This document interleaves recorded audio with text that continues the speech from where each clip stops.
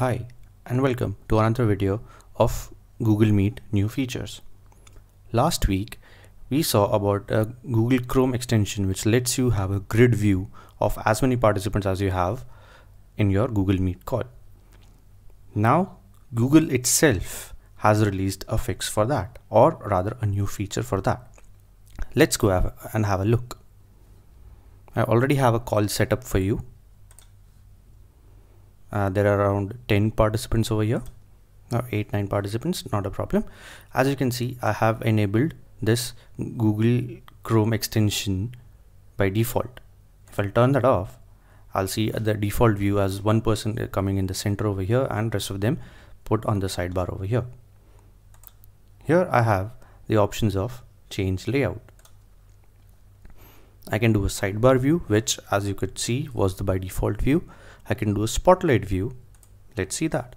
Spotlight view puts just one person who is either speaking or presenting at the point in the center of the screen. The new thing that they brought is the tiled view. As you can see, it shows 16 tiles over here. Earlier, before this new feature is launched, it used to show only 4 tiles over here. But now, the tiled view lets you see 16 people at a time. As you can see, participants in this call have increased to 14 and I'm not using this add-on over here. So if you have a smaller call with up to 16 participants, you do not need to install this add-on.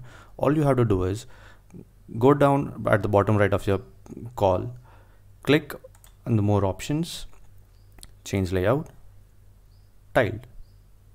And that's it. You're done. You can have the same functionality as your grid view which this extension was giving without installing this extension. And this is possible on any browser of your choice on PC only. So you can use Google Chrome or Internet Explorer or Firefox or Opera or Brave or even on Safari if you're an Apple user. Thank you. That's it for today.